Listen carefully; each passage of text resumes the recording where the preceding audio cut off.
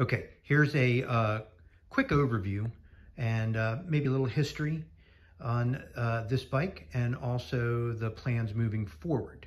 Uh, so this bike is, the, the goal is uh, to be able to do powered wheelies through our suburban neighborhood and not having anyone complain. Um, so this bike is meant to kind of be like those Super 73s um, but it's based on a bike that we built a while back for my son when he was six, right? And uh, it's a, uh, um, a Mongoose King Kong, bought it from Walmart.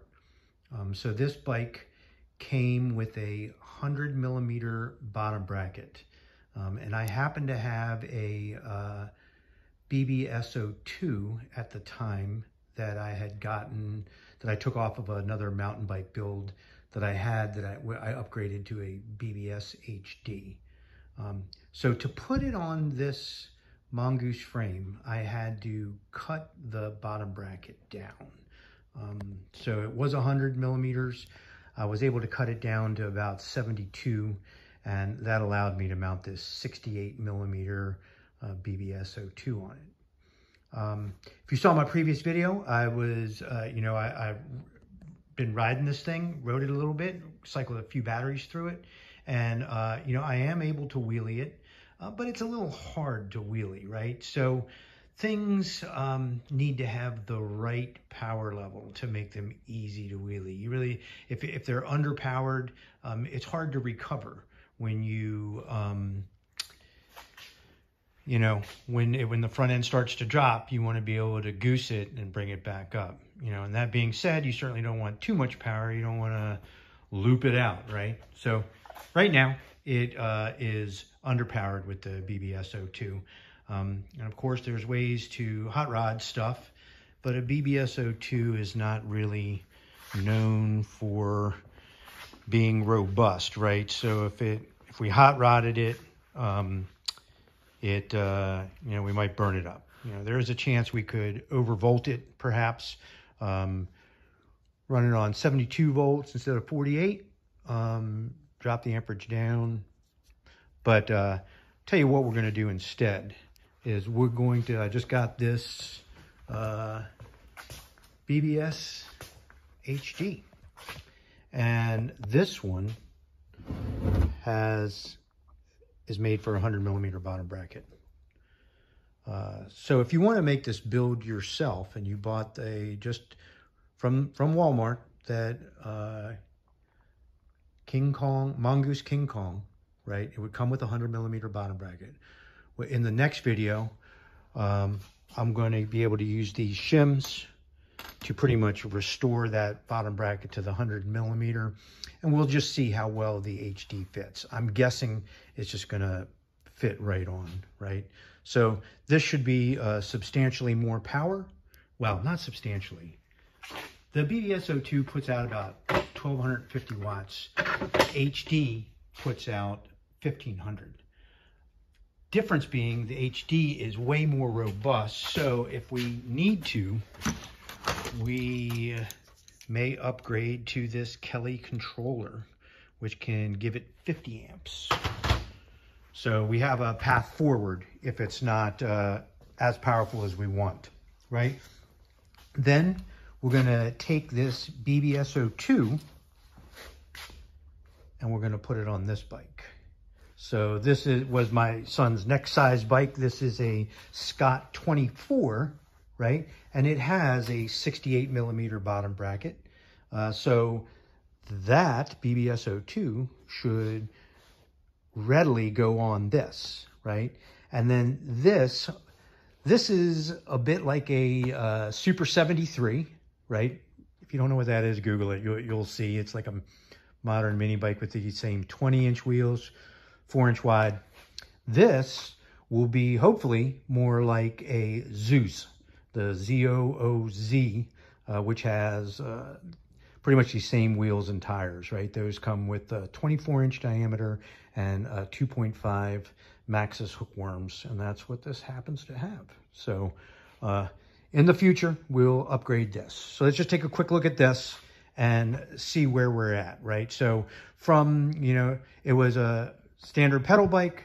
We put that uh, BBS02 on it, cut the bottom bracket to make it fit, right? My son, uh, he was six, right?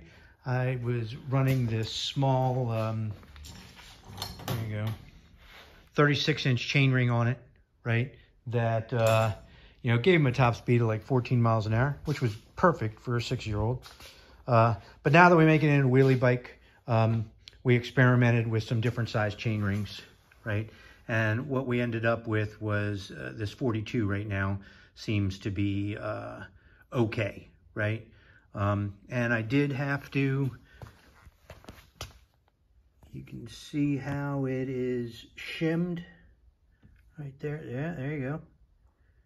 Um, so what, uh, took a little experimentation to get a good chain line, but uh, that uh, that seems to work. You can get in low gear, you can get in high gear, right? We reused the crank arms that came on this bike, so they're six inches long, right? Threw on some cool uh, tires, the Speedster um, 20 inch by 4.0, right? And then put this banana seat on, and that made us necessitated building these mounts here.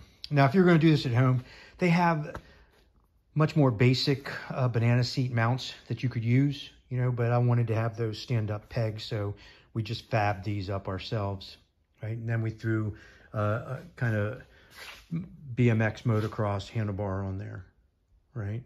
And I have, so I run the rear brake on the left and upgraded to a Shimano MT201, right? Still not happy with that braking power. So in the next video, we'll do some mods. We're either going to upgrade to a 180 millimeter rotor or a 203. So we'll see. Um, maybe we just go straight to the 203. It's got a, a 160 on there now, right? Um, so we'll upgrade that. We'll put the BBS, BBS HD on there.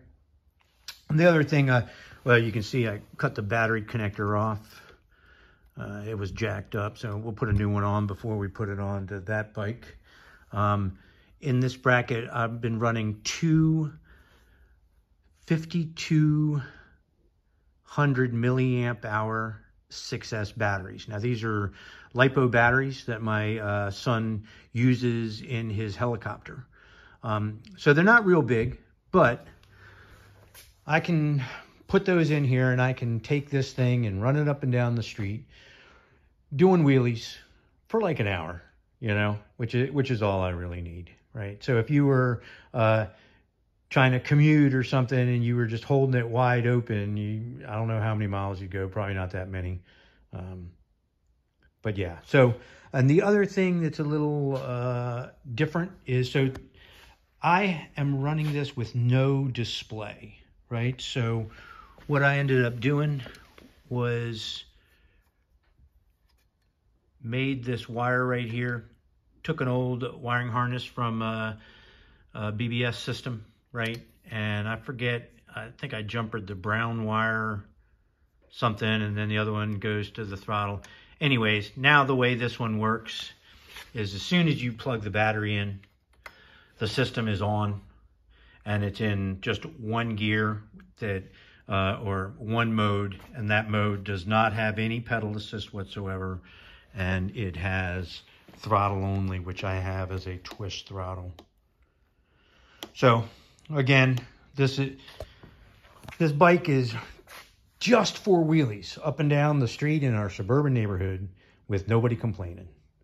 Um, so stay tuned and we will change that out with that BBS HD. Then uh, see how that does. We'll upgrade the brakes to those rotors. That'll require uh, taking this stuff apart so we can kind of, you guys can see how those, you know, banana seat support brackets go together. And then let's put the BBS02 onto the Scott 24, right?